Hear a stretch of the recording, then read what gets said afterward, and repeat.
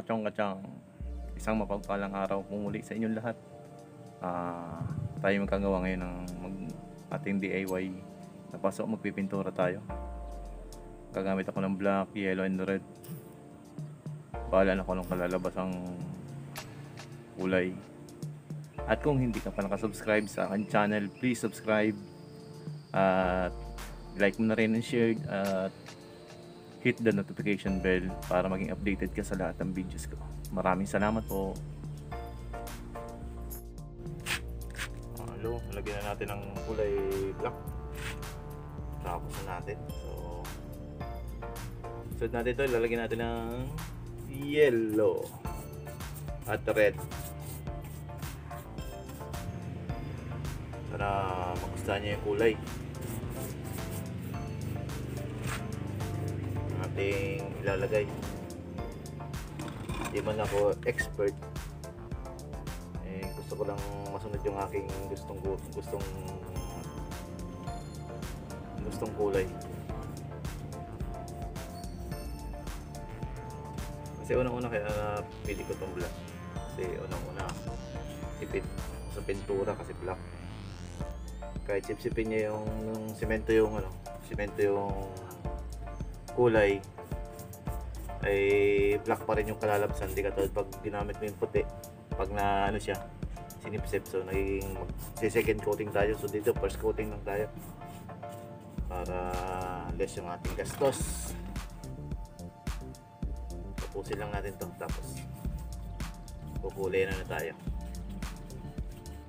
Kulay yellow at red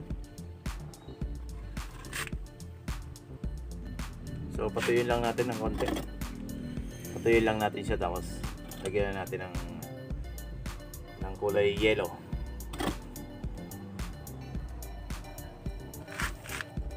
So maglagay na tayo ng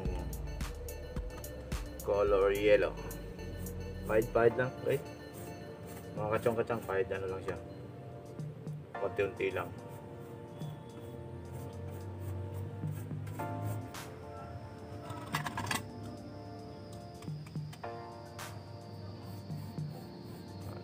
pahid hindi siya masyadong marami. Pero nasa inyo pa rin yung kung anong gusto nyo kung makapal ano. Basta ako ganito ganito lang yung ginagawa ko. Basta kulay kulay lang siya. Ganyan lang siya. Kung anong gusto nyo kulay. Kaya masusunod. Diskarte wala nang masama kung ano tayo mag-experiment tayo ng kulay na gusto natin para sa ating paso. Para marami naman ang paso ay ginagamitan nila halos ng isang kulay lang. White yellow kung yellow green kung green brown kung brown. So dito nagano ako uh, tricolors ako. Black, yellow, and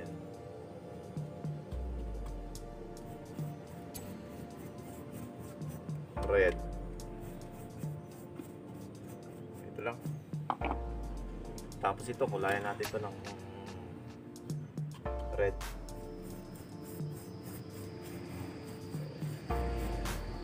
natin, red na lang ang susunod natin.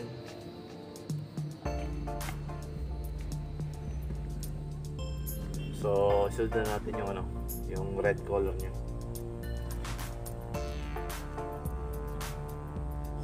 Ito, ito lang.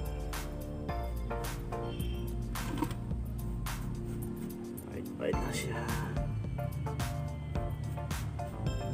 Sana ipahilamos-hilamos lang.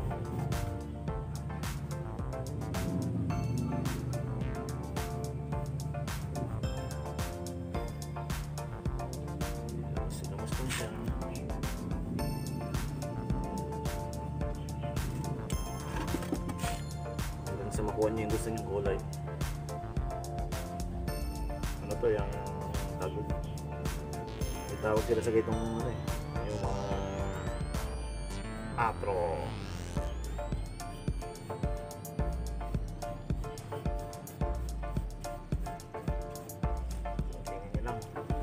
anong kalalabasan ng ating kulay. Palagay nyo maganda, nasa inyo naman yung kung, gaga- kung gusto nyo lang. Naman masama. Subok tayo. Ibang kulay.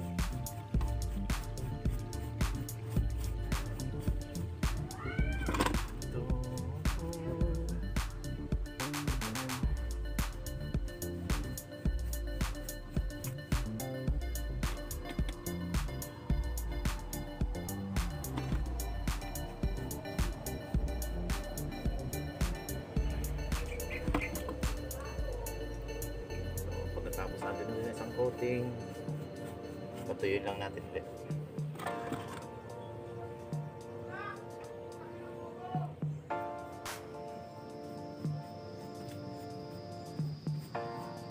Tapos na natin. Maya maya naman. Magdagdag na tayo ng color red. Kulay pula. Nadagdagan na natin siya ng konti-unti.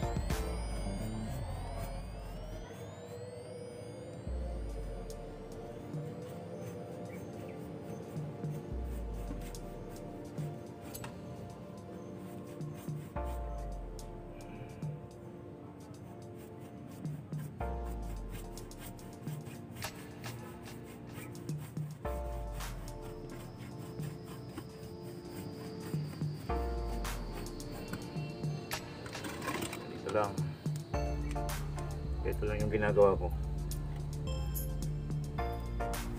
So, pag tingin ko medyo maganda na. Okay na sa akin. Titigil ko na siya. Sa tunted, huwag dadamihan ng pachi-pachi ba?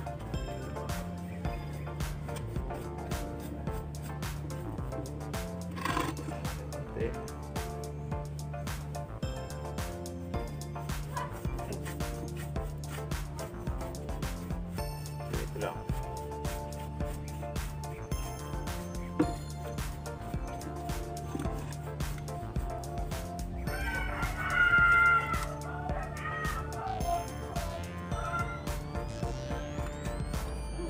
Yan. Padalawa na to.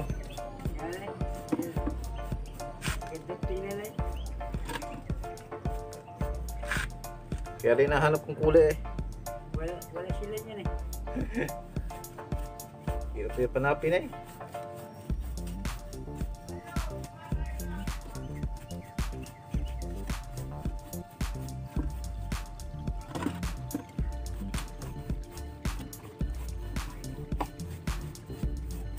Doon pa rin pala tayo mapunta.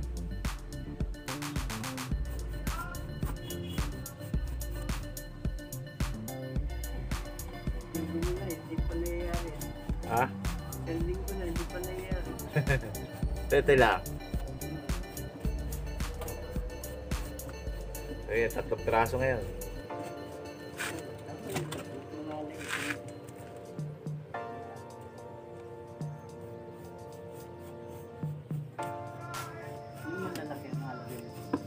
Hmm.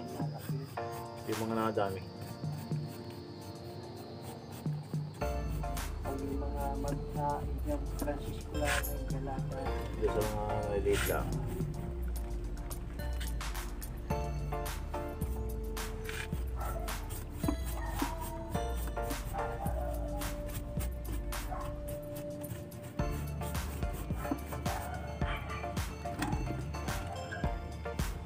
Nagdadiri natin yan.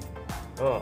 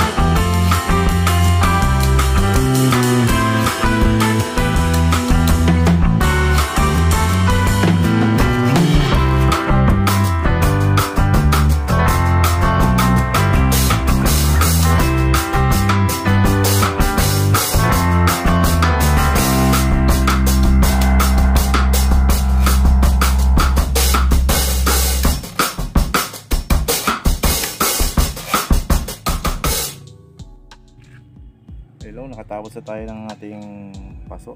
Isa yon Doon sa kabila. Ito yung padalawa. So, kung anong gusto nyong kulay, yun nasundin nyo. Ito lang yung nagustuhan kong kulay. So, kaya ito yung ginagawa ko.